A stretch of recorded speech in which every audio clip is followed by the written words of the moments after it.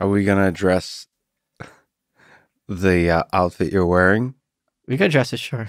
You know, for those who are colorblind, My, Michael's wearing the, or or just listening to this. Michael's wearing the exact opposite, the inverse from uh from another dimension outfit, which is a white suit and black shirt. Uh, it's so genius. Okay, so uh, You should see the next two looks I've planned. oh no, Yeah, they're great. Well, obviously, this relationship's going to end today. it's, so it's I'll, over. I'll put them on Insta. okay. Is there some deep ph philosophy to the humor?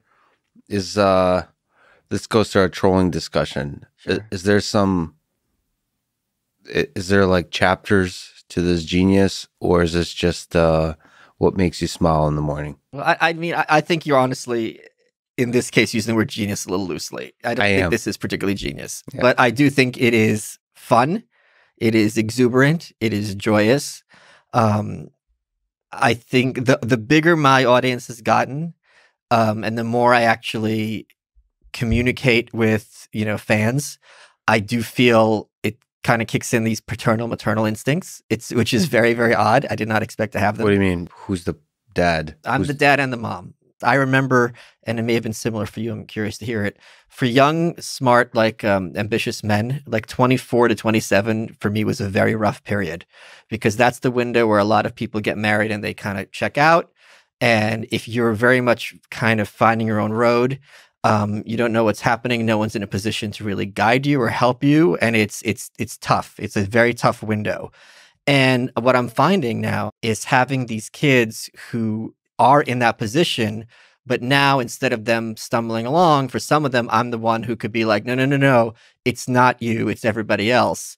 And to be able to give them that semblance of feeling seen, to use a cliched expression, to feel normal and that no no you're the you're the you're the heroes here they're the background noise um it's just really very uh flattering and humbling to be in that position you have many minds, right? There's the thoughtful kind, uh, Michael. There's like I'm gonna burn down the powerful, yeah Michael. i do like he, he, yeah and then there's like I'm going to have this just light-hearted trolling of the world. yeah Which uh, and which of those are most important to the 24 to, uh, to the 27 demographic? I, I think it's it is the combination.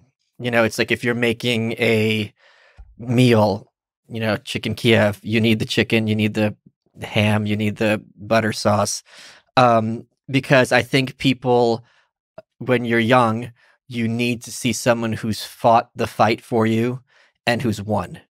So it's very easy to be defeatist So this is what winning looks like. well, no, this is not.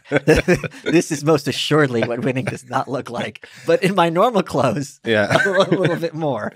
Uh, this is a good time to mention that uh, clothes-wise, you're you're wearing sheath underwear, and people should uh, buy sheath underwear. Use code Malice twenty. If you go to sheathunderwear.com, use promo code Malice20. Yeah. What I love about the, why I'm glad to promote the product and Yeah. wear it, it's the most comfortable underwear I've ever worn. And you have a separate pouch for both parts of your genitals. That's that's what you. I thought there was like a punchline coming. No, it's a very nice aspect of the product. Yeah.